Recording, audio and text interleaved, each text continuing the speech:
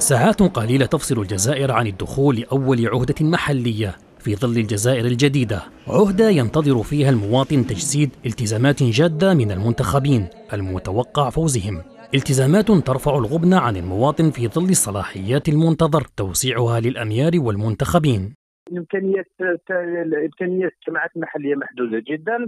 اذا نظن بأنه في الوقت الحالي وقبل صدور القانون الجديد لل الجماعات المحلية والجباية المحلية هي اللي رايحة تكون المصدر الأساسي لتسيير البلديات بالنسبة للنفقات والمداخيل.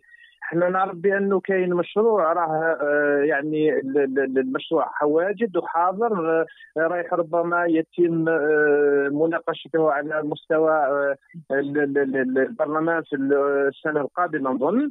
المشاريع المحلية تعتبر التحدي الأول للمنتخبين على وجه العموم والأميار على وجه الخصوص لا سيما ونحن نعيش فصل الشتاء وما صحبه من واقع مزري يفضح في كل مرة سياسة ال bricolage.